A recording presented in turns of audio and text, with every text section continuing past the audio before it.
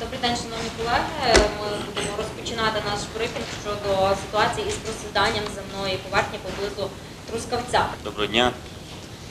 Е, У ніч 29 на 30 вересня пройшов обвал карстових порід у зоні рудника номер 2 ПАД е, Степницький полімінерал. Е, Відразу на місце події виїхали представники Департаменту екології природних ресурсів, Державної екологічної інспекції, МНС, поліції і всі е, супровідні служби.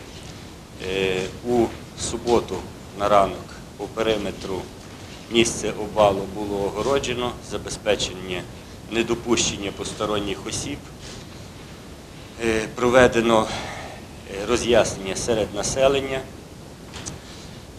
У запрошено фахівців Івано-Франківського національного університету нафти і газу, які провели моніторинг тектонічної напруги е, по периметру обвалу для того, щоб з'ясувати, чи є небезпека е, подальших обвалів у напрямку дороги. Е, Станом на сьогодні там працюють фахівці Гірхімпрому інституту і також Державної екологічної інспекції. На обід ми будемо мати попередні висновки про те, чи є загроза подальших обвалів.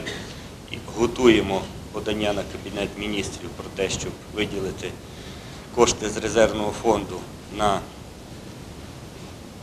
запобігання розвитку подальшої ситуації і так само голова обласної державної адміністрації дав доручення правоохоронним органам провести відповідне розслідування і притягнути відповідальних е, людей, е, з вини яких, напевно, сталася ця ситуація.